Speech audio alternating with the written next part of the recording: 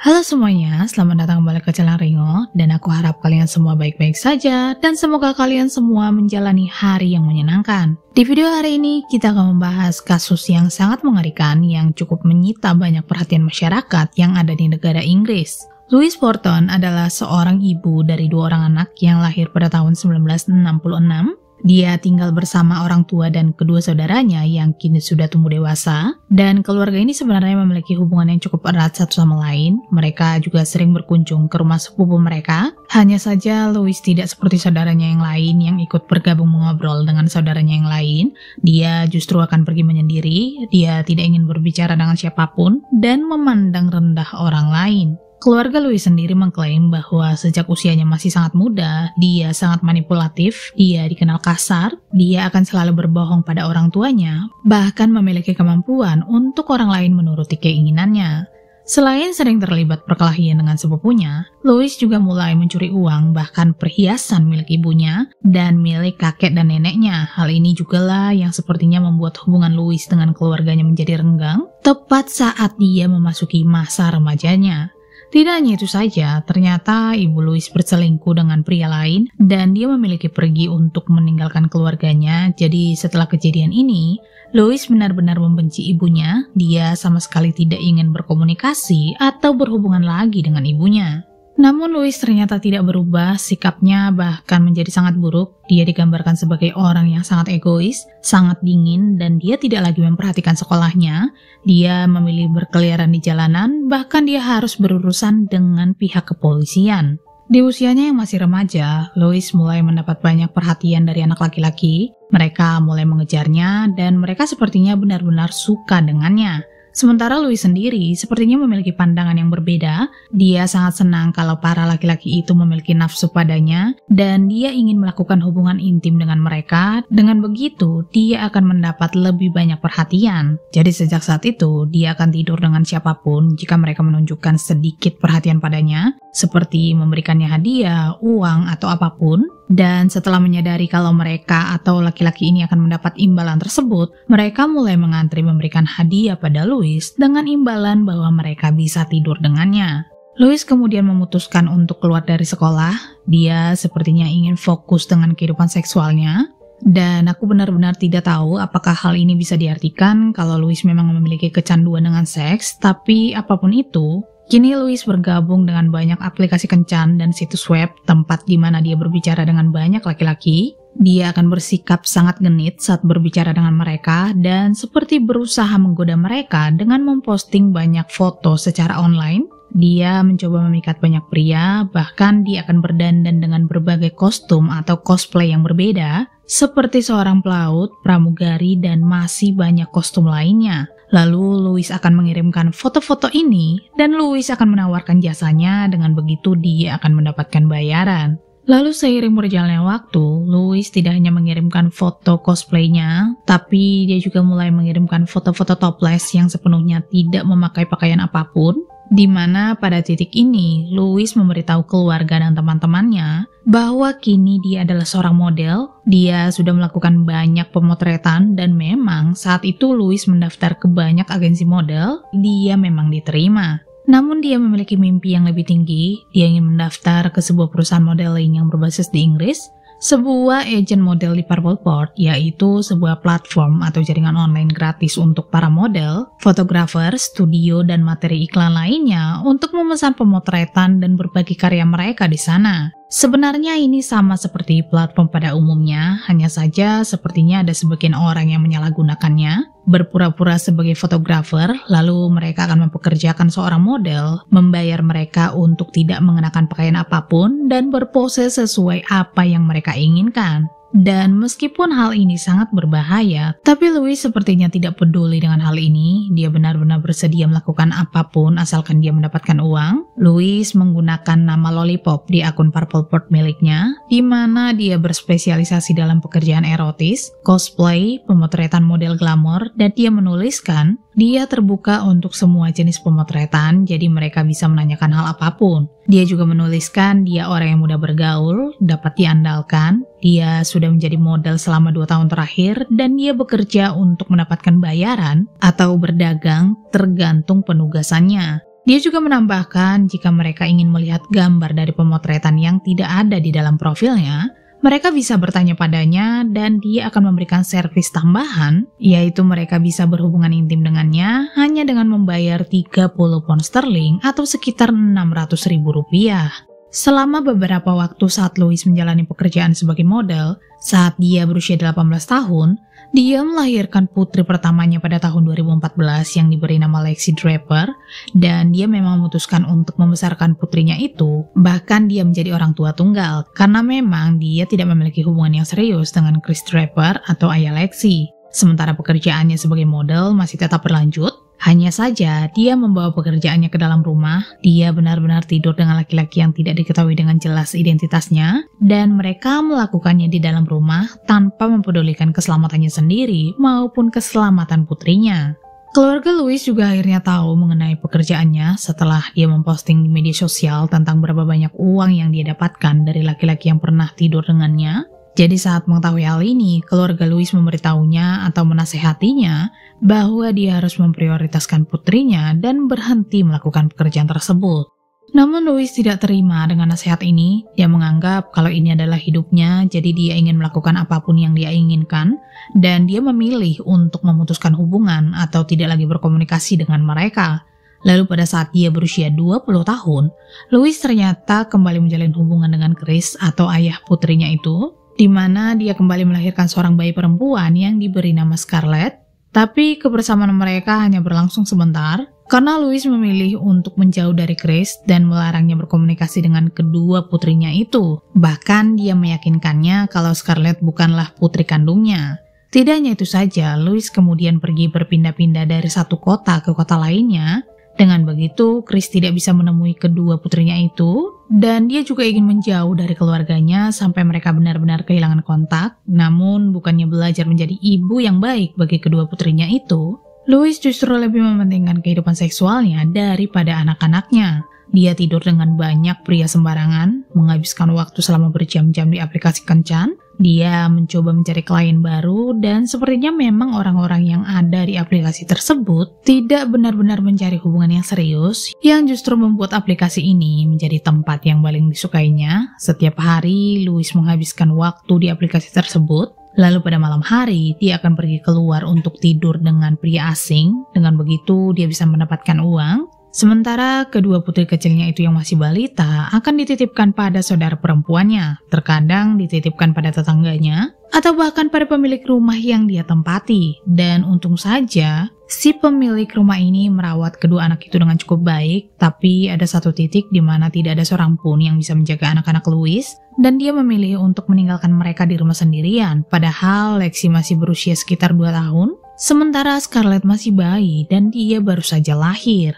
Kalian juga perlu tahu kalau Louis benar-benar melakukan ini hampir setiap malam, jadi dia akan menitipkan kedua putrinya itu pada siapa pun atau bahkan meninggalkan mereka di rumah. Dan seiring berjalannya waktu, Kedua putrinya ini mulai tumbuh besar yang membuat Louis sepertinya kelelahan, dia merasa muak menjadi seorang ibu, dan dia mulai meluapkan kekesalannya pada kedua putrinya itu. Bahkan dia akan menjadi sangat marah jika salah satu dari antara mereka ada yang menangis. Padahal Scarlett masih bayi dan tentu saja dia akan menangis untuk memberitahu ibunya atau orang-orang di sekitarnya kalau dia membutuhkan sesuatu. Namun Louis justru akan menutup mulut mereka, mengancam, memarahi mereka bahkan dia juga akan melakukan kekerasan fisik jika anak-anaknya bertingkah sambil menangis atau berbuat sesuatu yang nakal. Tidak hanya itu saja, Louis akan menyeret tubuh mereka di sepanjang lantai, lalu akan memukul mereka hanya untuk masalah yang sepele. Sebenarnya ada orang lain yang melihat bagaimana Louis memperlakukan kedua putrinya itu. Mereka juga mencoba melaporkan kejadian ini ke dinas sosial, hanya saja mereka tidak menanggapi laporan ini dengan serius. Jadi kedua anak ini benar-benar menjadi korban dari keegoisan ibunya sendiri. Bahkan, Louis mulai membawa pria masuk ke dalam rumah dan mereka adalah pria sembarangan atau pria yang tidak diketahui dengan jelas identitasnya atau pria yang hanya ingin menghabiskan malam dengan Louis. Padahal, tempat tinggal mereka sangat kecil dan hanya memiliki satu kamar tidur. Louis juga pernah bilang pada saudara perempuannya kalau dia akan memberikan obat tidur pada anak-anaknya sebelum dia pergi meninggalkan mereka dan tidak diketahui dengan pasti apakah dia hanya bercanda atau apakah dia benar-benar melakukannya. Pada satu titik, ada beberapa orang pria yang meminta pada Louis agar mereka bisa berhubungan intim tepat di depan kedua anak-anaknya. Dan Louis benar-benar sangat gila, dia setuju dengan permintaan ini.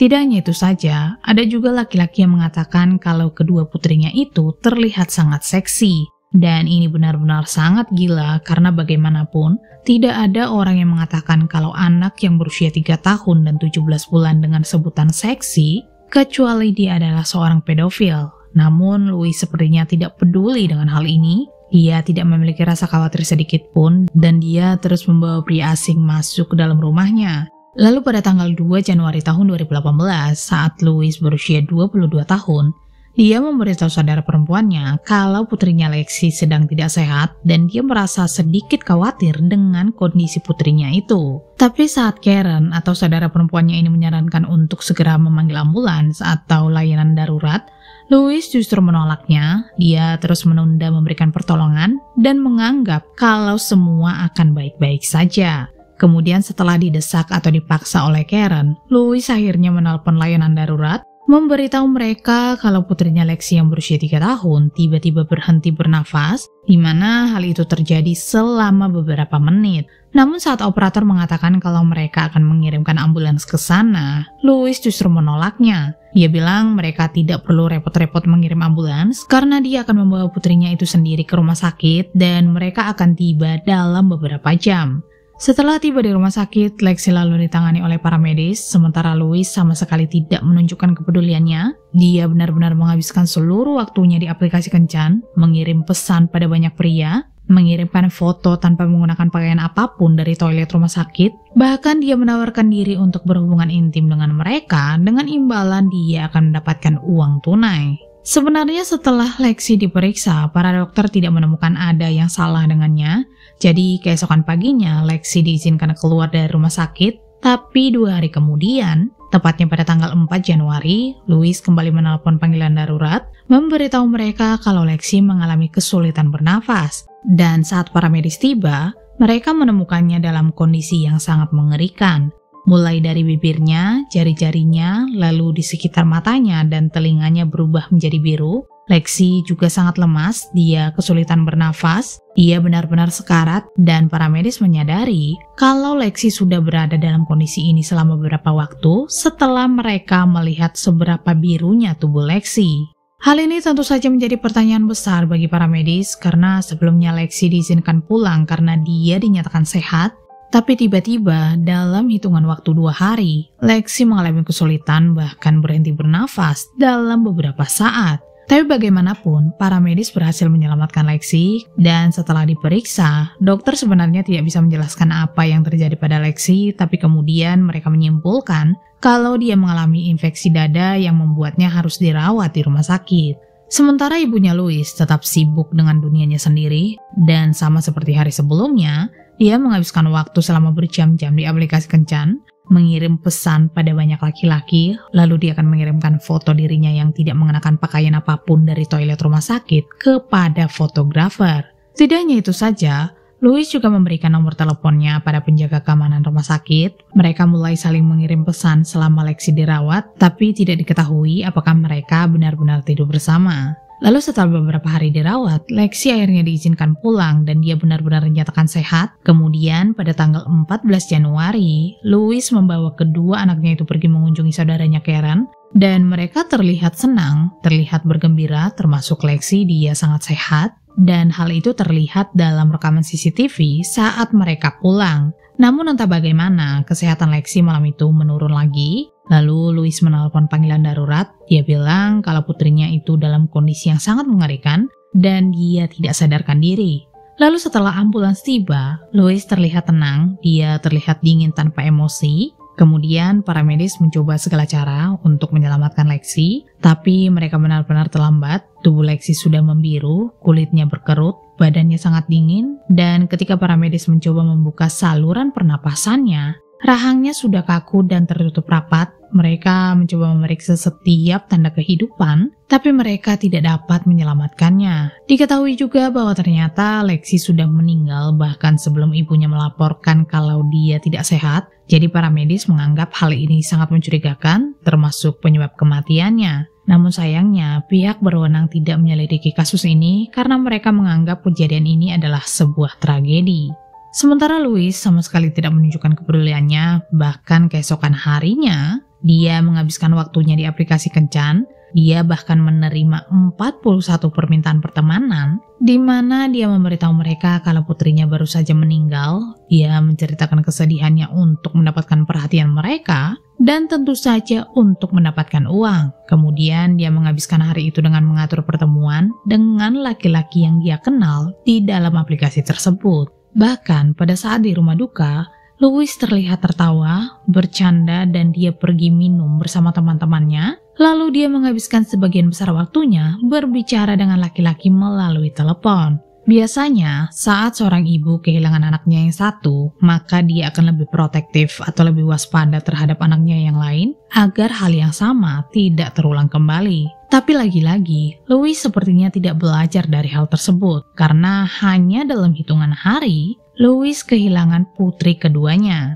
Tepat pada tanggal 1 Februari tahun 2018 malam, Louis menginap di hotel bersama putrinya Scarlett karena sepertinya dia terlalu sedih setelah kehilangan putrinya. Dan malam itu Scarlett masih sangat sehat, tapi tiba-tiba Louis meminta uang pada pria yang pernah tidur dengannya. Dia bilang kalau dia ingin mengisi bahan bakar mobilnya agar dia bisa membawa putrinya itu ke rumah sakit. Sementara orang-orang ini justru menyarankan Louis untuk segera menelpon ambulans jika itu memang benar-benar mendesak namun Louis tidak mau menelpon ambulans, dia hanya menginginkan uang dan juga perhatian. Jadi karena mereka tidak mau memberikannya, dia memutuskan untuk mencari jalan keluarnya sendiri. Dalam rekaman CCTV, Louis terlihat keluar hotel bersama putrinya Scarlett, tapi dia tidak pergi ke rumah sakit. Dia justru berkeliling ke kota sebentar, dan saat itu tidak diketahui apakah Scarlett masih hidup atau sudah meninggal dunia. Kemudian Louis terlihat lagi di rekaman CCTV, dia berhenti untuk mengisi bahan bakar kendaraannya, dan itu sekitar jam 10 malam, di mana dia sudah menghabiskan waktu sekitar 30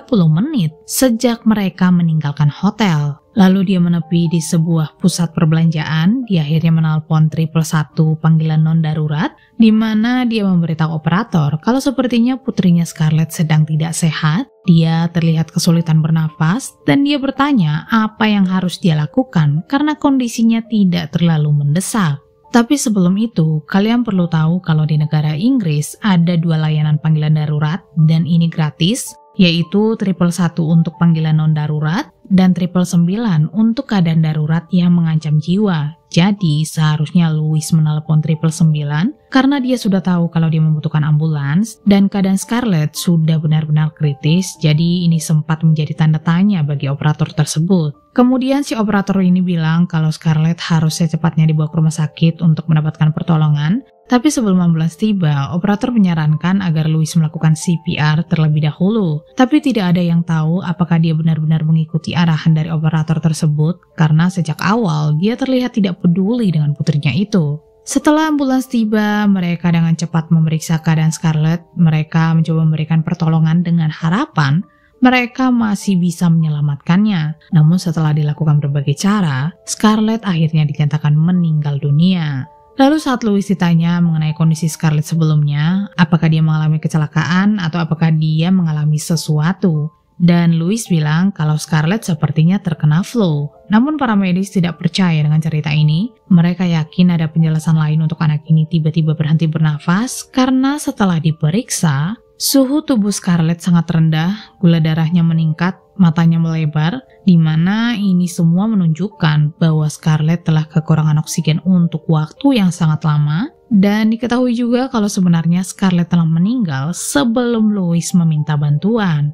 Setelah tiba di rumah sakit, dokter menemukan bahwa kematiannya tersebut disebabkan oleh penyumbatan saluran pernapasan yang disengaja, dan dokter tidak dapat menemukan alasan alami mengapa anak-anak tersebut meninggal secara tiba-tiba. Para medis selalu melaporkan hal ini ke pihak kepolisian karena tentu saja ini sangat mencurigakan seperti sudah direncanakan dan polisi juga dengan cepat menangani kasus ini. Mereka memanggil para ahli lalu melakukan otopsi di mana dari hasil otopsi ditemukan bahwa kematian kedua putri Louis bukanlah kecelakaan, melainkan dilakukan secara sengaja. Bahkan dari tubuh Lexi, ditemukan sebuah tanda di hidungnya yang menunjukkan kalau hidungnya tertutup rapat dan ada bekas cakaran di lehernya. Jadi sepertinya Lexi sedang berusaha melepaskan tangan ibunya dari lehernya yang berusaha mencekiknya. Sementara Scarlett mengalami memar di sekitar lehernya, di bagian kepala ditemukan kerusakan otot leher, pendarahan di paru-parunya, dan sebagian darah Scarlett juga ditemukan di bantal mereka di kamar hotel. Namun sepertinya bukti ini belum cukup untuk memberatkan Louis, jadi kali ini pihak kepolisian melakukan serangkaian pencarian di internet yang dilakukan oleh Louis,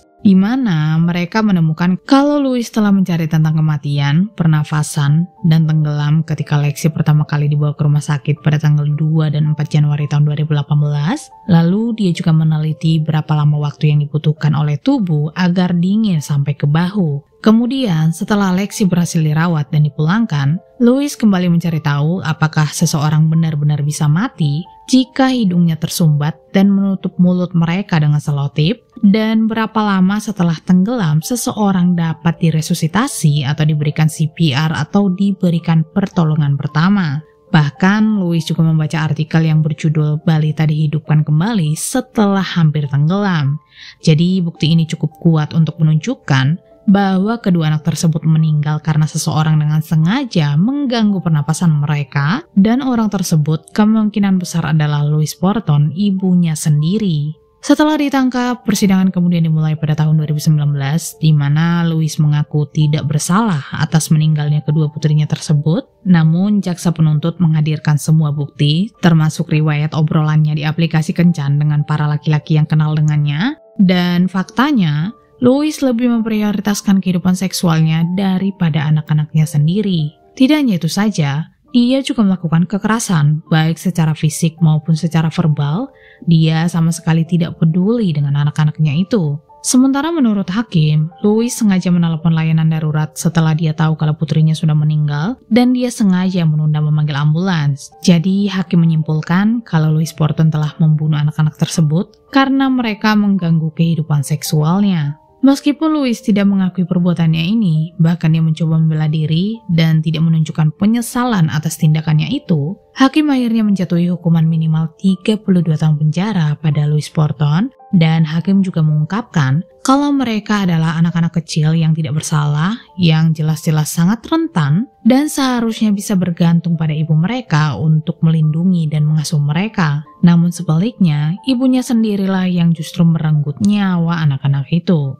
Baik keluarga Louis maupun Chris Draper, ayah kandung dari Lexi dan Scarlett, tentu saja sangat terpukul dengan berita ini. Mereka benar-benar sangat hancur, terutama Chris. Dia masih bertanya-tanya kenapa Louis bisa melakukan hal yang begitu jahat terhadap putri mereka, padahal dia adalah ibu mereka, orang yang seharusnya merawat, melindungi, dan mencintai mereka. Bahkan siang dan malam dia terus memikirkan kenapa kedua putri kecilnya itu dibawa pergi, kalau pada akhirnya Louis tidak peduli dengan mereka. Sementara ibu kandung Louis juga sangat terpukul dengan berita ini. Dia begitu tersiksa atas kematian cucunya itu, dan dia tidak mau mengakui putrinya itu. Anyway, terima kasih banyak telah menonton video ini, dan terima kasih juga atas dukungan kalian semuanya. Aku harap kalian menyukainya, dan sampai jumpa di video selanjutnya.